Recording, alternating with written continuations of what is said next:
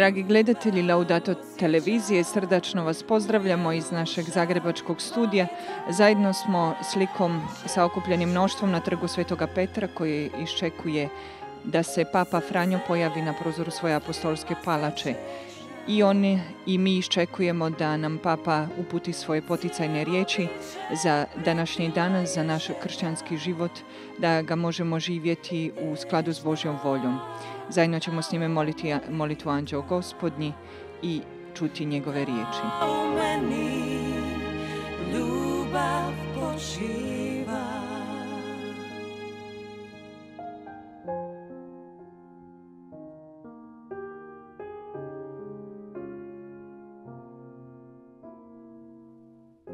Ljubav, srcem razlila se ljubav Njome obasjan je majko oko tebe. Nebeski svod Evo te, poput sunca smješiš se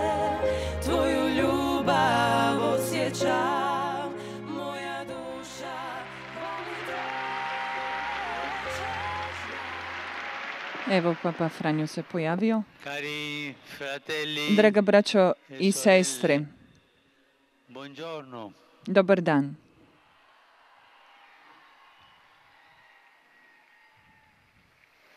Ogni giorno, purtroppo, Nažalost, svaki dan crne kronike nam donose ružne vijesti, ubojstva, nesreće, katastrofe. U današnjem odlomku iz Evanđelja Isus spominje dva tragična događaja koji su u to doba izazvali puno priče. Jedan okrutna, jedan događaj je okrutna represija koju su počinili rimski vojnici u unutrašnjosti hrama i rušenje kule u Siloamu, u Jeruzalemu, koje je prouzročilo 18 žrtava. Isus poznaje mentalitet praznovjerja svojih slušatelja. I zna da oni tumače takve vrste događaja na krivi način.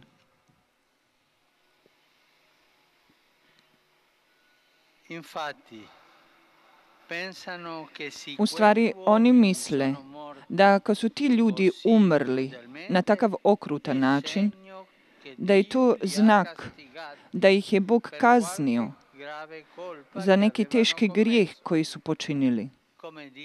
Kao da kažu, to su i zaslužili.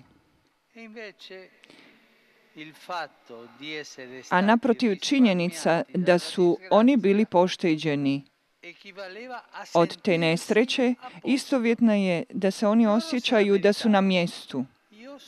Oni su zaslužili to, a ja sam na mjestu, ja sam dobar. Isus odlučno odbacuje takav pogled, jer Bog ne dopušta tragedije kako bi kaznio grijehe i tvrdi da one jadne žrtve nisu uopće bile gore od drugih. Naprotiv, on poziva da se iz tih bolnih činjenica izvuče upozorenje za sve, jer svi smo grešnici. Naprotiv, kaže onima koji su ga ispitivali, ako se ne obratite, svi ćete slično propasti.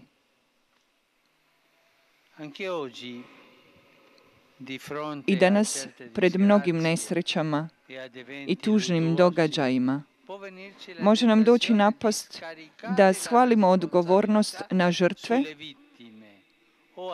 ili čak na samoga Boga. Ali nas Evanđelje poziva da razmislimo. Kakvu sliku o Bogu smo sebi sami napravili? Jesmo li stvarno uvjereni da je Bog takav? Ili je to samo naša zamisao? neki Bog napravljen na našu sliku e i priliku. Isus naprotiv nas poziva da promijenimo srce, da učinimo radikalnu promjenu puta našega života, napuštajući kompromise sa zlim. e eh? I to činimo svi, kompromise sa zlom. Sa, da napustimo dvoličnost. Ja mislim da smo svi imam, da svi imamo barem trunčicu dvoličnosti, kako bi odlučno koračali putem evanđeljem. Ali opet dolazi nova napast da se pravdamo.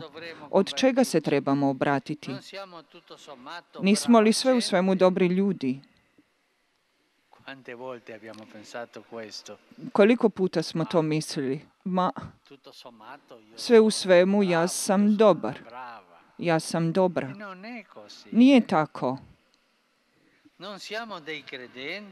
Nekad kažemo mi smo vjernici i podosta praktični vjernici i mislimo da tako, tako opravdani. Nažalost, svatko od nas jako puno sliči stablu, koje godinama daje višestruke dokaze svoje neplodnosti, sterilnosti. Ali na našu sreću, Isus je sličan onom zemljoradniku koji sa beskrajnom strpljivošću zadobiva još jedno produženje, produžetak za neplodnu smoku. Gospodine, ostavi je još ove godine, kaže gospodaru. Možda će u buduće ipak uroditi. Jedna godina milosti. Vrijeme Kristove službe. Vrijeme crkve Prije Kristova slavnog dolaska. Vrijeme našega života koje se sastoji od određenog broja korizmi koje nam se daruju kao prigode promjene i spasenja. Vrijeme jubilarne godine milosrđa. Nepobjediva Isusova strpljivost. Jeste li mislili-? Jeste li vi mislili ikada o Božjoj strpljivosti? Jeste li mislili na njegovu konstantnu brigu za grešnike? Kako mogu potaknuti nestrpljivost prema nama samima? Nikada nije prekasno da se obratimo. Nikada. Sve do zadnjeg trenutka.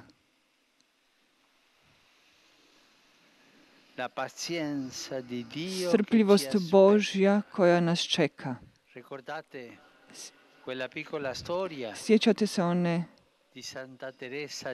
povijesti Sveti Terezi od djeteta Isusa kada je molila za onog čovjeka koji je osuđen na smrt, jednog kriminalca koji nije htio primiti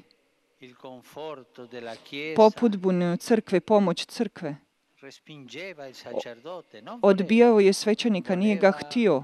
Htio je umrijeti tako. E A ona je molila u samostanu. E I kada je onaj čovjek bio tamo na tre- u trenutku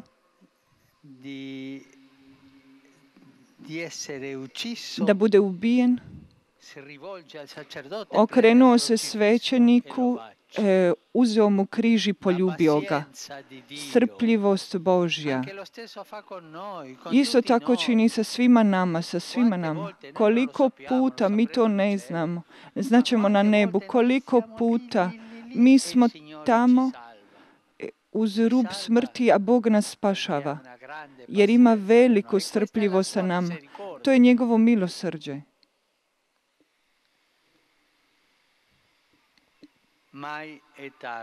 Nikada nije kasno da se obratimo. To je jako potrebno, hitno je potrebno. Sada je vrijeme, počnimo od danas.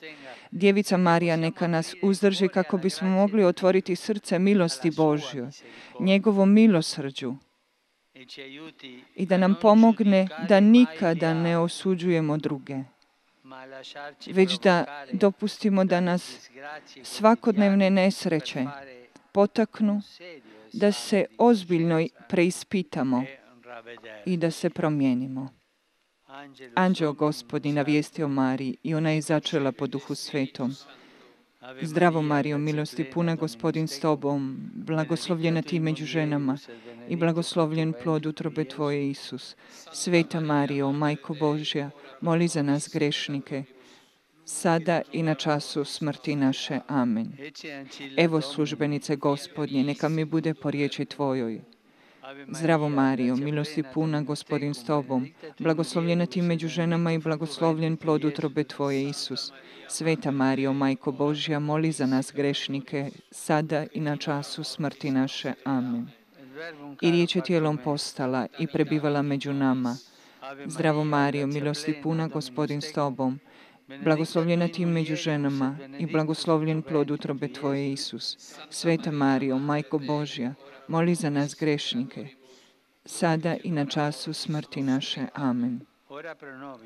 Moli za nas, Sveta Bogorodice, da dostojni postanemo obećanja Kristovih. Pomolimo se, milo svoju, molimo te, Gospodine, uli u duše naše, da mi koji smo po anđelovu navještenju spoznali utjelovljenje Krista, Sina Tvoga, po muci njegovoj i križu, k slavi uskrsnuća privedeni budemo, po istom Kristu Gospodinu našem. Amen. Slava Ocu i Sinu i Duhu Svetom, kako bijaše na početku, tako i sada i vazda, i u vijeke vjekova. Amen. Slava Ocu i Sinu i Duhu Svetom, kako bijaše na početku, tako i sada i vazda i u vijeke vjekova. Amen. Slava Otcu i Sinu i Duhu Svetom, kako bijaše na početku, tako i sada i vazda i u vijeke vjekova. Amen. Svim vjernim mrtvima, pokoj vječni darujem gospodine i svjetlost vječna neka im svjetli. Počivali u miru. Amen. Budi ime gospodnje blagoslovljeno od sada i do vijeka. Pomoć je naša u imenu gospodina koji je stvorio nebo i zemlju. Blagoslovio vas svemogući Bog, Otac, Sin i Duh Sveti. Amen.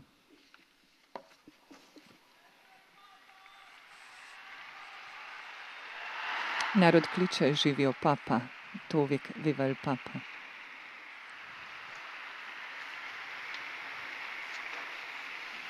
Cari fratelli, Draga braćo i sestre,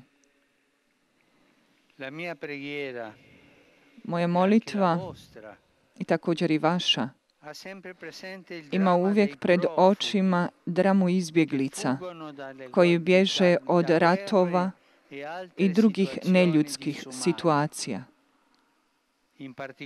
Posebno Grčka e i druge zemlje koji su na prvoj crti daju im darežljivu pomoć koja je potrebna suradnje svih naroda. Jedan zajednički odgovor može biti e učinkovit, distribuire i pravedno podijeliti teret. Stoga treba odlučno i bez rezerve e utjecati na- na pregovarače. Istovremeno, s nadom sam primio vijest o prestanku sukoba u Siriji. E Pozivam sve da mole kako bi se to dalo, kako bi to dalo utjehu trpećem narodu i otvorilo put dijaloga i e mira. dijaloga i mira koji, je toliko željen.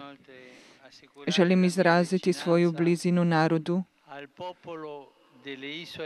na otocima Fiji, koji je teško pogođen od razarajuće ciklone. Molim za žrtve i za one koji su zauzeti da im pomognu. Upućujem svoj srdačni pozdrav svima vama, hodočasnici iz Rima, iz Italije i različitih zemalja.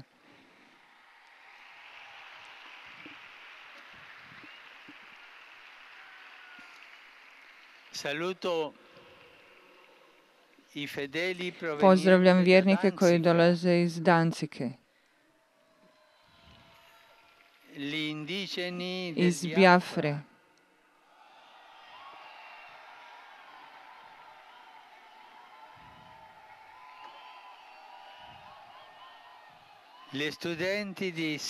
studente iz Zaragoze, Huelve, Cordobe, iz Afre,